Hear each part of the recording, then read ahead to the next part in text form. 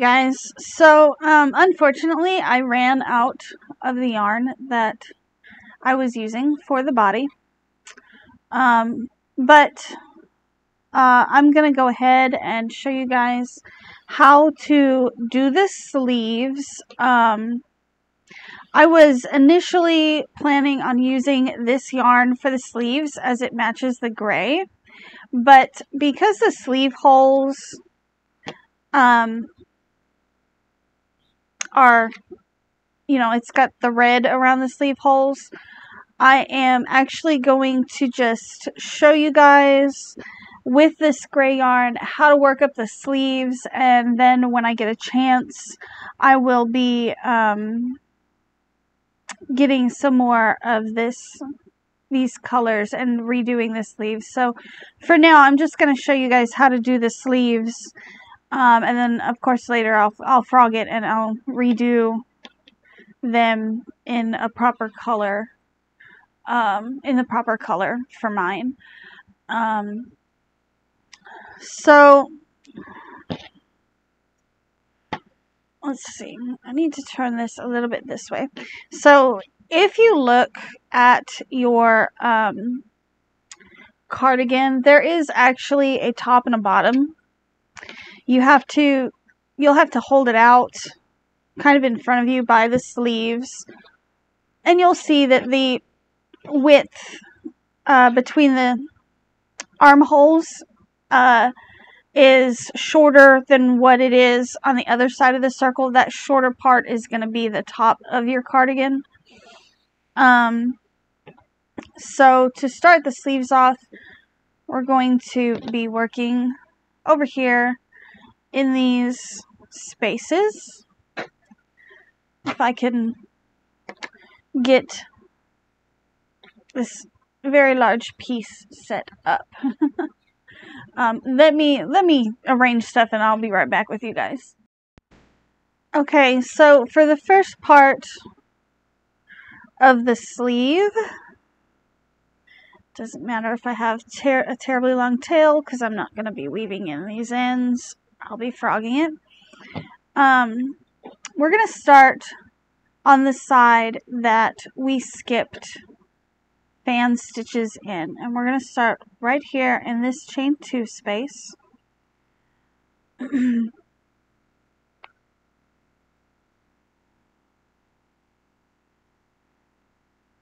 I'm just going to slip stitch to rejoin my yarn right there. so for this round, it's going to be very similar to um,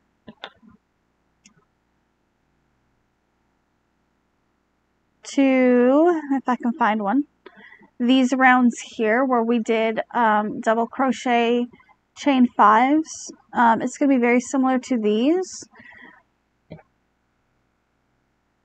So with one difference. We're going to chain up three, two, three, and then we're going to chain one. And then we're going to put another double crochet into this chain space, into the same chain space.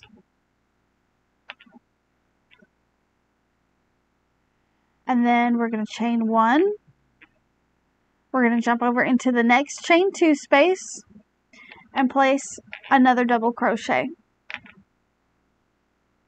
Then we're going to chain one, place another double crochet into the into the same chain two space. And we're going to continue that all the way across. Me see if I can get this out of the way. Maybe I can show it a little better. We're going to continue doing that all the way across this one side of our sleeve until we get to this chain two space here. At that point, you can see, maybe you can see, you can see um, the it's a chain and we that's where we did a chain to make the sleeve yoke. So we're going to just do we're to just do a chain 1 double crochet in a chain in the chain 2 space chain 1 double crochet in the same chain 2 space. And we're going to do that all the way across and I will meet back up with you guys when I get to the other side of the sleeve.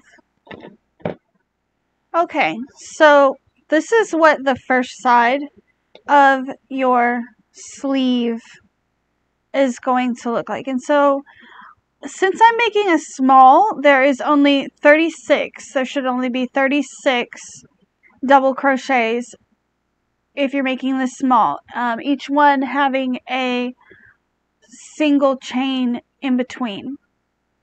Um, if you're making the medium, you will have a total of 42, and that this also includes this starting chain here that counts as your very first double crochet so if you're making the medium you're going to have 42 double crochets and if you're making the large you should have 48 so to do the other side of the sleeve I need to rotate this a little bit the whole sleeve is going to be worked in the round. So, uh, let's see if I can get my hook in here.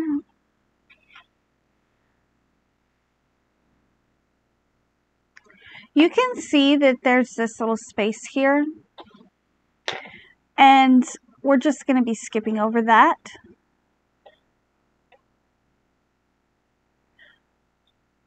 And we are going to be placing, in my case, because I'm working a small, I'll be placing 36 double crochets with one chain in between each double crochet on the other side. Um, for again, for the medium, it will be 42, and for the large, it will be 48. Um, so you're going to try to evenly space your 36 stitches across here. And like I said, you you can see there's a little space right there. Um, and then there's also this little space here. In my case, what I'm going to do is I'm going to go ahead and chain one, I'm going to skip over this treble because this is actually a treble here. I'm just going to skip completely over it.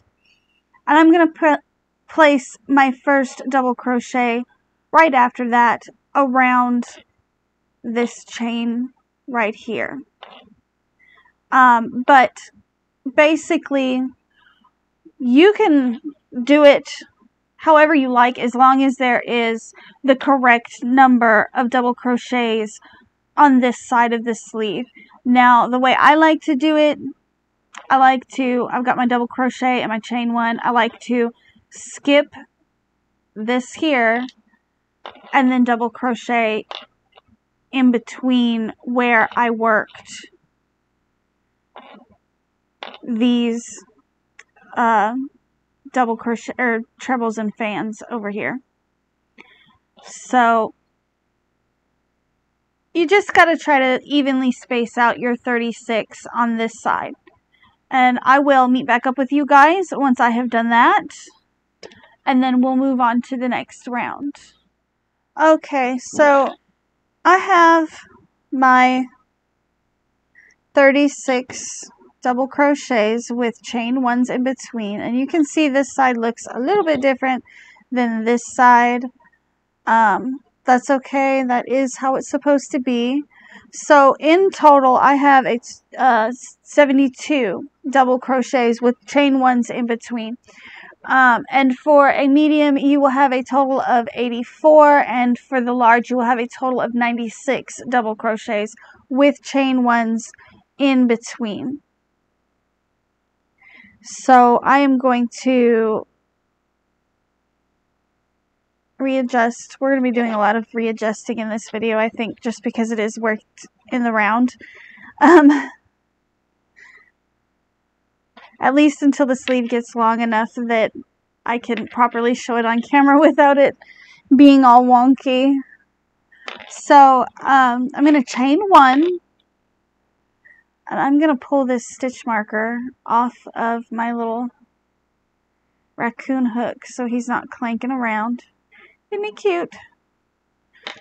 Um, so I'm going to chain one and I'm going to slip stitch into the third chain of my starting chain. So one, two, one, two, and three right there.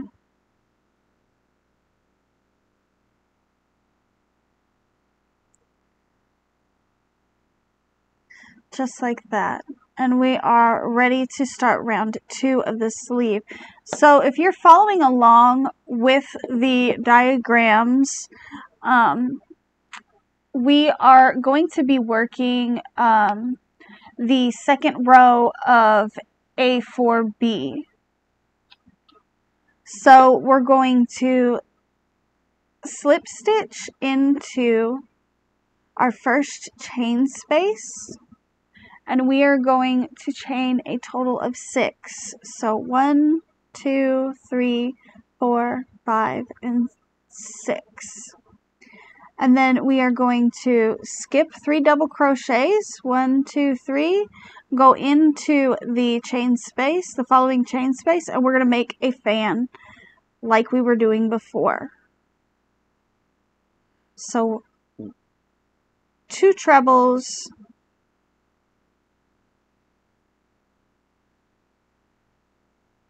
two chains, two trebles, all in the same chain one space. And then we're going to chain two. Now that is the repetition for this round. Um, for a small, you're going to repeat it 12 times. For a um, medium, you will repeat it 14 times. For a for the large, you'll repeat it 16 times. So I'll show you guys again. I've already done my chain two, so we're going to skip three double crochets and place a treble in the next chain space. Chain two, skip three double crochet, place a fan stitch in the next chain space. And you're just going to do that all the way around. And I will meet back up with you guys when I am all the way around the sleeve. Alright guys, so I've made it back around to the beginning of my sleeve. Um, I've joined into the fourth chain of my starting chain. Now, we're going to repeat this round two more times. So to start off, we're just going to chain up six. And then we're going to jump into this chain space here. And we're going to place another fan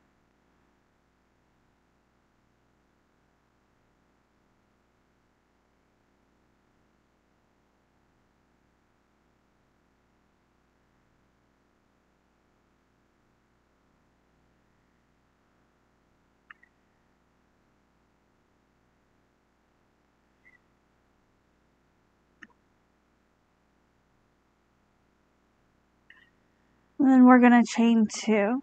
So you're just going to repeat this sequence here all the way around twice. So you'll end up with three rows with fan stitches in it. And if you are making a small, you will have 12 fans. A medium will have 14 fans and a large will have 16 fans. So I will meet back up with you guys when I have my two rows for a total of three. Alright guys, so I have made it back around and I have three rows of fan stitches. So for this next round, we are going to be decreasing. Um, so to start off your round, you're going to chain up six. So one, two, three, four, five, six. You're going to jump into the next fan and place another fan stitch.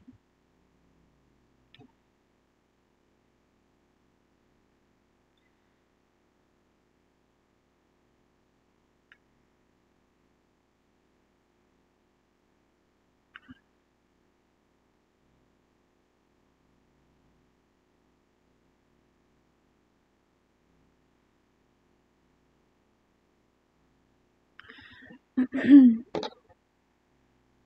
then we're going to chain two. Now, here's where we're going to be decreasing. We are going to do uh, three treble crochets that are connected. So we are going to treble in this first we're going to skip over this chain space and this treble. And then we're going to treble in this first chain space that follows this treble. And we're going to start a treble stitch, but we're going to keep the last two loops on the hook. And then we're going to yarn over twice, go into the chain space of the fan stitch. Um, and you're going to draw through two of those and leave the last loop on the hook for that treble as well. And you're going to do it again a third time for this chain space right here.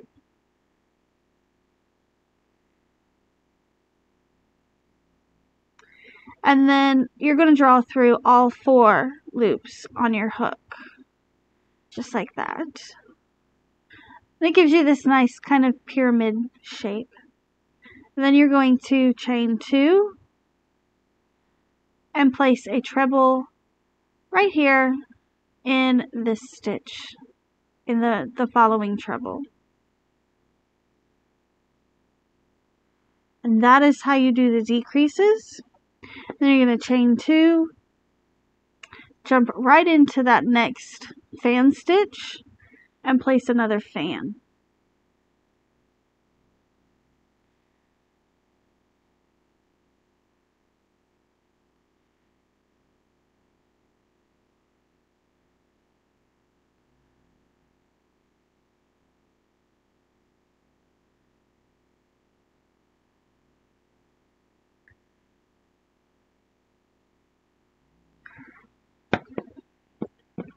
So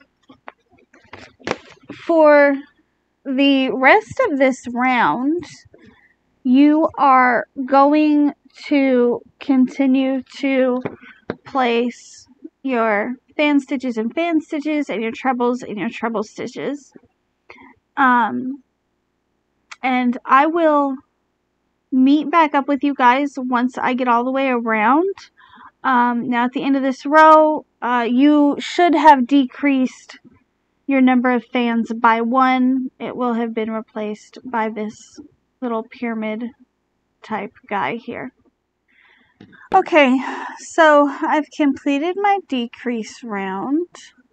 And for the next four rounds, we are just going to be doing fan stitches and trebles. So, one, two, three, four, five, six. We're going to jump into this first fan stitch and place another fan.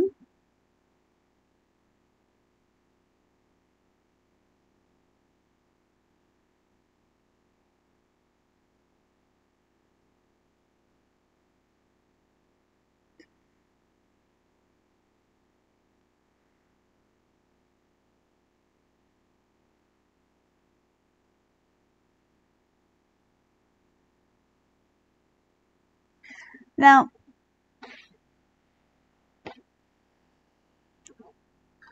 right here is the little pyramid that we made. So we're going to chain two and we're going to skip over this chain two space, this pyramid, um, and this chain two space, and we're going to jump directly in to the next treble stitch and place a treble. And then we're going to chain two, and we're going to place another fan stitch in the next fan. So that is how you cross past that little pyramid type deal that we made. So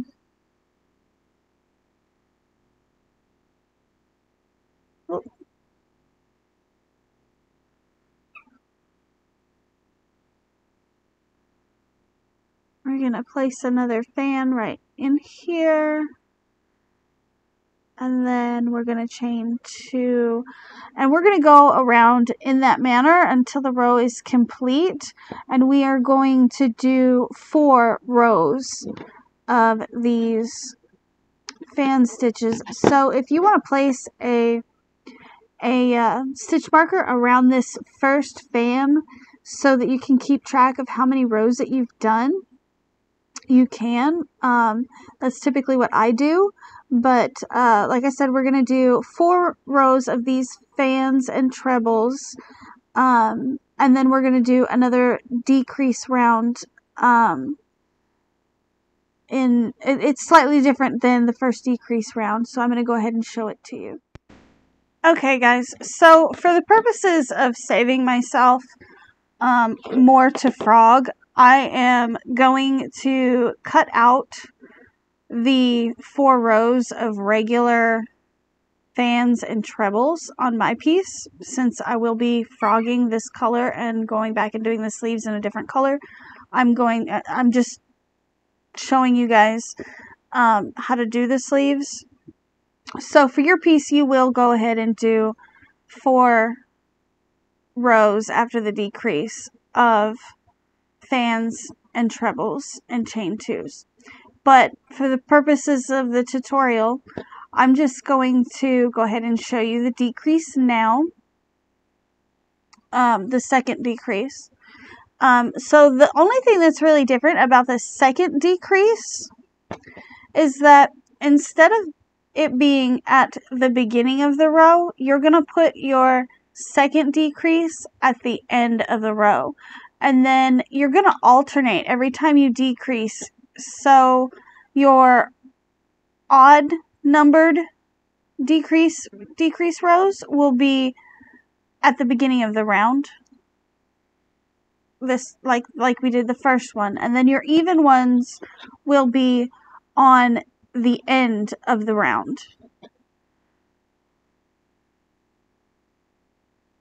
so it's going to be just like before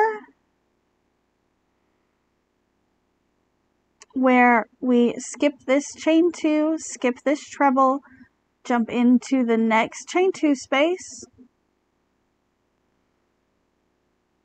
start off as a treble crochet, but leave those last two loops on the hook. Start off placing another treble into the chain two of this fan stitch. And you're going to leave the last loop on the hook. And then you're going to place a third one in this chain two space right after the fans fan stitch. Leaving the last loop on your hook. And then you're going to yarn over and pull through all three of those loops to give you that decrease and then you're going to slip stitch um, directly into your fourth starting chain. So one, two, three, and four.